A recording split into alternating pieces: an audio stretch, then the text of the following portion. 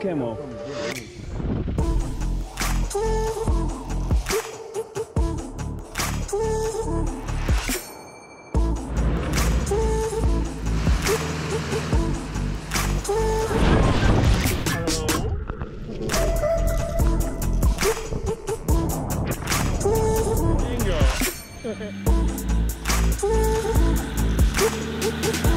Pretty wild.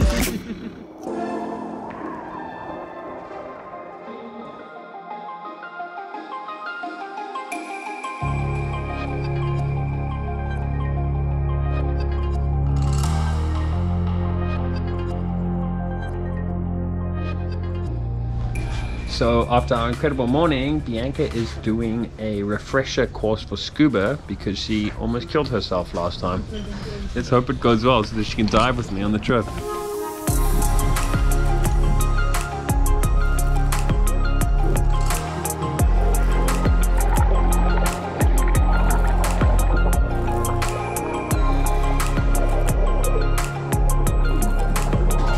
So me and B are diving together and we're dive buddies and that's really exciting. Liam ran us through a bit of a briefing and then we headed out. Should we go diving?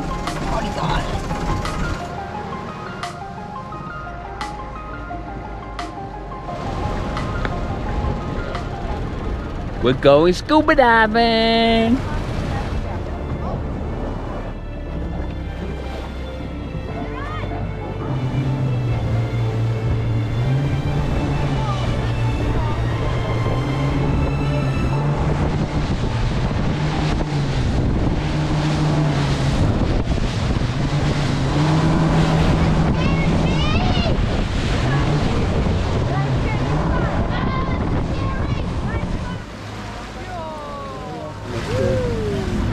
Dolphins, good sign?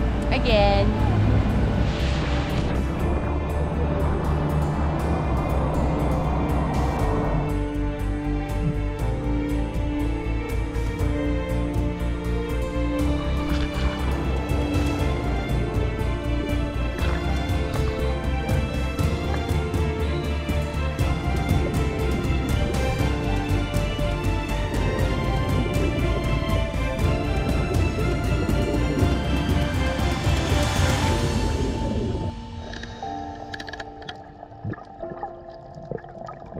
Dive didn't go great. It didn't really happen. Didn't really happen. We tried to go down slowly, but I'm probably not experienced enough to manage someone else while I'm still trying to dive myself. We ended up bobbing up to the surface again just as B was equalizing, so that really sucks. I kind of blame myself a little bit. But um, afterwards, I managed to have a full dive. So we are deciding what our plan is for the next couple of days because we, we're not loving our latest accommodation in Ponta. Gala Gala was amazing, but we, we moved to a different place yesterday and it's not great. Currently, we don't know where we're going to be tonight, but um, that's part of the adventure, I guess. We still have no accommodation for tonight, but uh, we're having an R and R, and we'll figure out the rest afterwards. So we're still trying to make a new plan on accommodation and where we're going to be, but we got some good food and we got a couple of Tipo Tintos in the belly, so that helps. So it is 4.30 and we still have no plans. Jabari is chilling. We're getting some tipo. Someone we'd met before was happy for us to camp in his driveway, as long as we brought some rum with.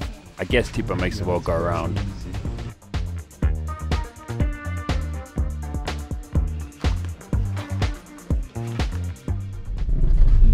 Was definitely the most random place we've ever spent the night um, so far, I guess. But yeah, someone was hospitable to us and let us camp in their garden, so why not? Um, we're gonna go do some scuba diving now this morning and then probably head out of Ponta.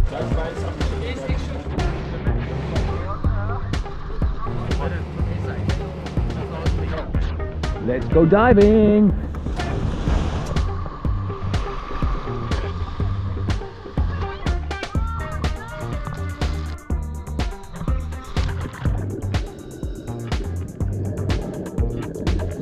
Since shooting this, I've seriously upgraded the underwater gear, but in the meantime, hopefully you get an idea of how incredible it is underwater.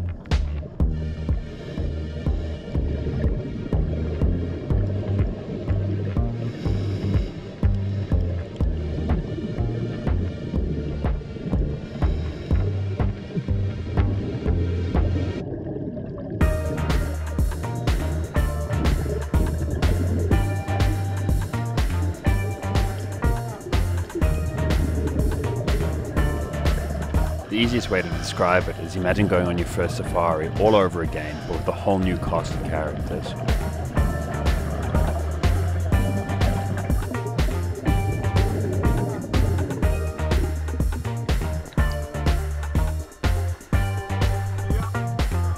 The first dive of the day was so incredible, and to top it off, we saw dolphins again on the way in. So Liam and I hatched a plan to get Bianca to try one more time. Dive number two for the day. After an incredible first dive, hopefully the second one is anywhere near as good. We'll be super chuffed. I knew this might be the last time B tries, and I didn't want to pressure her, so instead I practically ignored her. Just another sunny day in Southern California.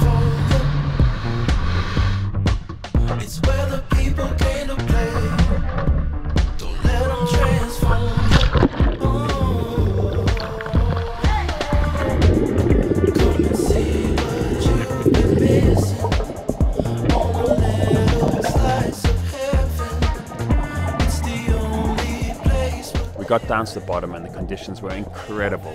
Doodles is a famous reef and for good reason. I glanced up a couple of times to check on B, but mostly tried to concentrate on my own dive.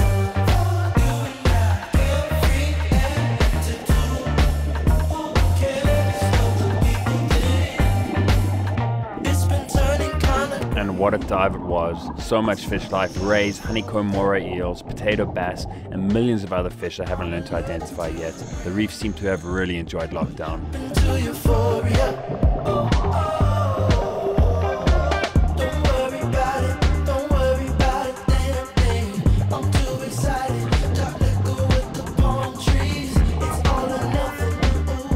Little unsteady, but she made it down, saw the morays and a whole lot of fish, and we finally got a shot of us diving together.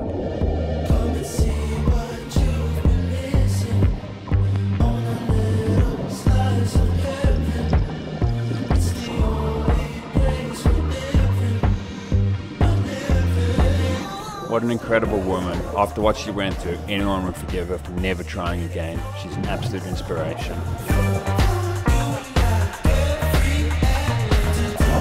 So we officially have a Bianca scuba dive. Uh, how cool is that? Bravest person I've ever met. I love it a bit.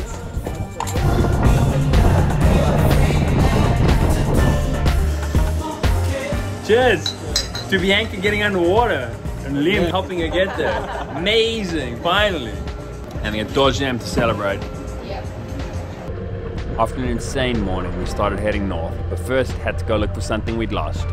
Oh no, we lost our license plate.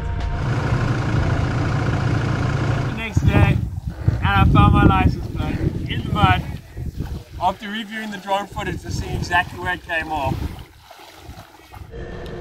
So after an incredible day at Ponta do Ouro, we have headed up north just a little bit to Ponta Malongane. It's um, it's a really quaint little fishing village and um, it's really beautiful and we've had great memories here with our dive club Scubaversity. So we've come to camp out here for a couple of nights. We'll see we'll see how long we stay. Nothing really is decided. But I'm gonna set up the iKamper and I'm getting a little bit better at it and I think my record is about four minutes. So I want to see if I can beat my record of four minutes. Let's see.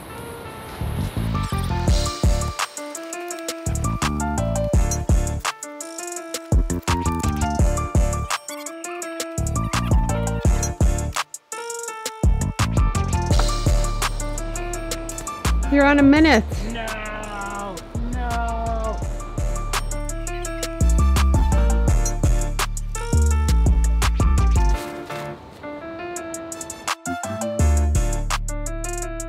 Meanwhile, the Boon family were making it look easy. Well, there is five of them.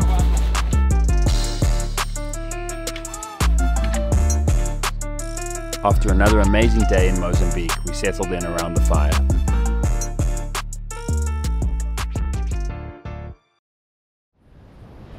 So something new we got for this trip is a inflatable kayak. Um, it's not it's not the most expensive kayak on the market, but I thought uh, for our first time out, I tried and it looks looks pretty functional. I'm gonna go test it now for the first time in Ponta Malongane in the sea, and we'll see how it goes. But uh, yeah, it looks pretty awesome. We tested it in my mom's swimming pool, but that doesn't really count.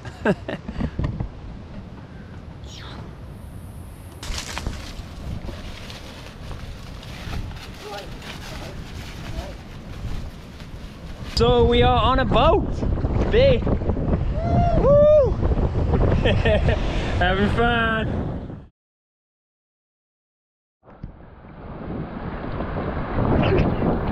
Was a giant fail. We almost drowned.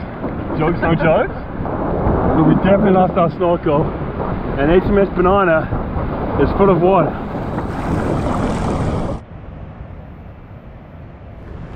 So after our near drowning incident with the kayak, um, I laugh about it. I shouldn't laugh about it. Uh, it's it is scary. And you should always respect the sea because things can go wrong really quickly.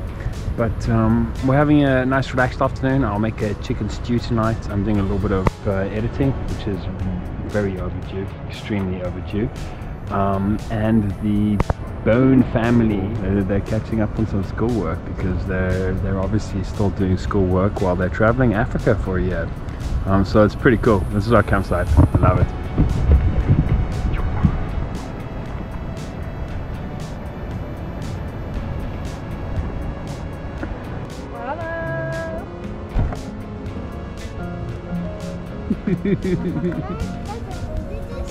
Why aren't you in school? I know everything. What do you want to know? Here's the Boon family vehicle. How's that for a setup, eh? So cool. Her and Jabari have been having a lot of fun together in the sand. Really loving Ponta Malongane. It's um, it's very quiet, which is weird. We're we're used to seeing this place completely packed. Um, and it's completely dead at the moment, which is a bit odd, but uh, still beautiful. And we're enjoying a relaxed couple of days.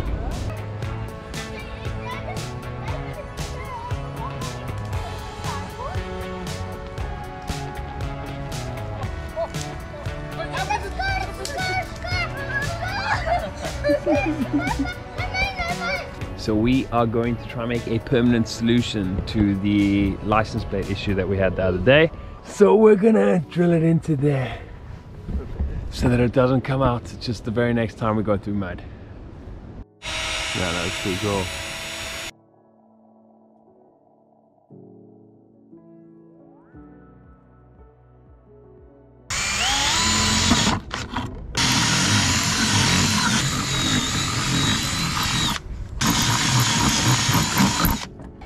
Bush mechanics. Bush mechanics for the win.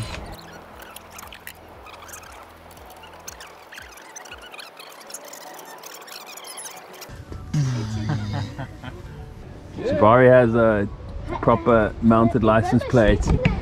Less chance of getting arrested by dodgy Mozambican policemen. Woo!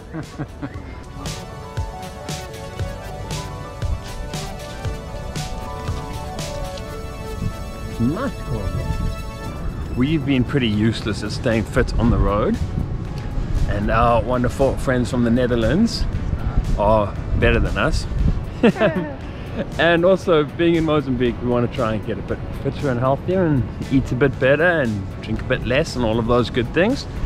And it starts today with us trying to run on the beach, which is going to be painful and short and pretty sweaty, I'm guessing. But uh, got to start sometime, I guess.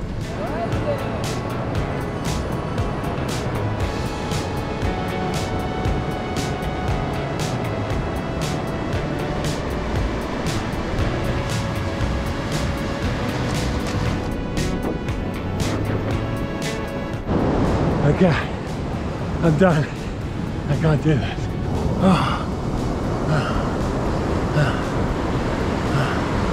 I can do this every day, by the end of four months, I'll be running down this beach with my shirt off and a six pack. Might be a six pack of Tipo Tinto, but. There go the Netherlanders. And there comes Bianca.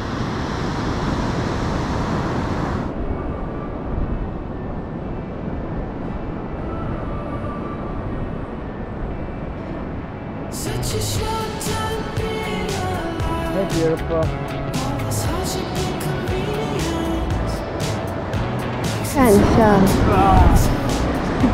how was that? Yeah, not easy, but I guess it's not meant to be.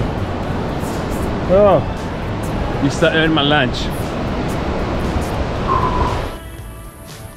In Ponta Malongane, it's a municipal campsite, municipal run campsite. There's a dive club and there's a restaurant. There's actually two restaurants, I think, two bars. Um, and the campsites are beautiful, nice and shaded. There's a huge amount of mosquitoes though. Um, and the ablutions are basic but clean. Um, they're pretty run down, but um, they do keep them clean. They're cleaned once a day. So it's not shocking. But um, yeah, it could use a little bit more TLC, but it's a, it's a nice affordable option. It's um, about 125 Rand per person per night, um, and half price for kids between 16 and 11, free for kids below 6. We're having a great time though. We've been having so much fun with these awesome people, and they decided to join us for a couple of nights in the Maputo Special Reserve, so we had to introduce them properly. We are overlanders from the Netherlands. We are the Boon family journey. We travel Africa with our Land Rover, which is our home. Nature is our back garden.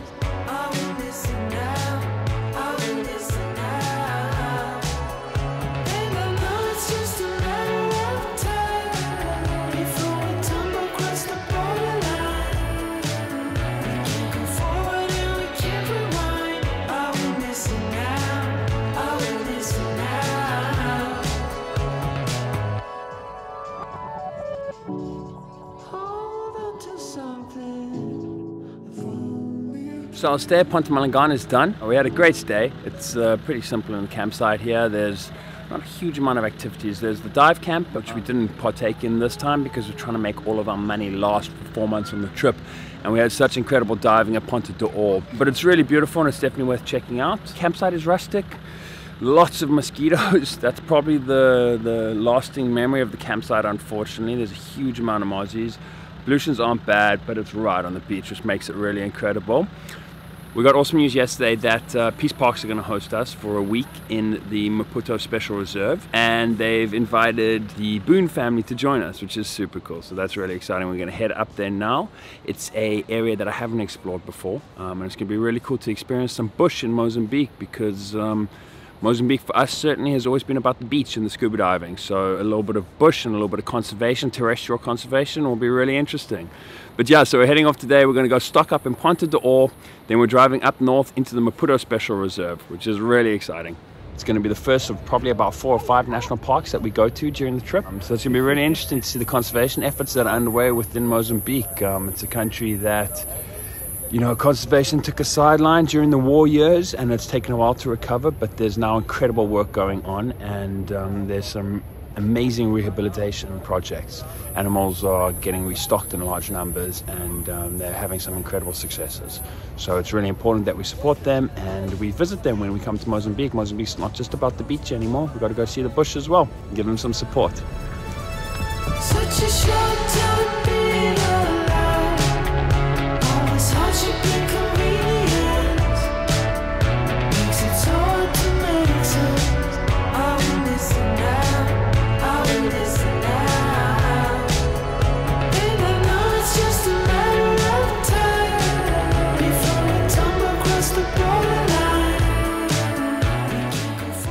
Thanks for watching, guys. And if you're enjoying the content and you haven't already, please hit subscribe. And we'll see you next week for another episode.